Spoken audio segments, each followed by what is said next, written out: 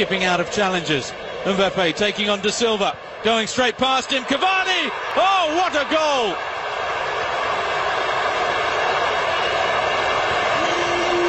Breathtaking pace from Kylian Mbappe and a breathtaking finish.